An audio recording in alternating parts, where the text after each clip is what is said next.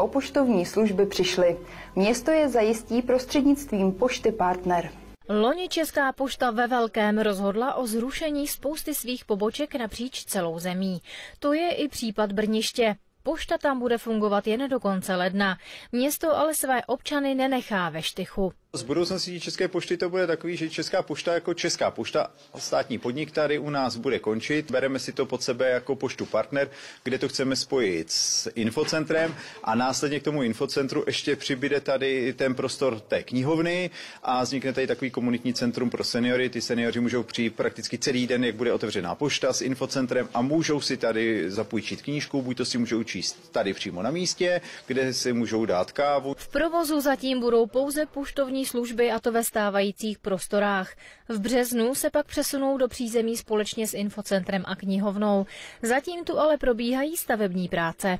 Rekonstrukce probíhá již v knihovně. Těším se na ní, protože to bude úplně něco nového, něco nového pro občany.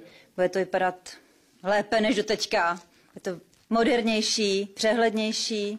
Počet čtenářů hodně klesl. Takže doufáme, že novou knihovnou se obnoví a bude více nových zákazníků do knihovny. Budeme to mít nově vybavený, bude to atraktivní, budeme tam nabízet i regionální produkty, protože v rámci infocentra to chci trošku jako rozšířit, zatraktivnit.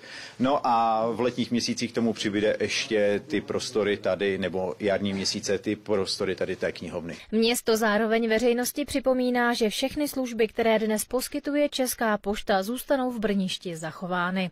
Jediné, co se změní, je otevírací doba.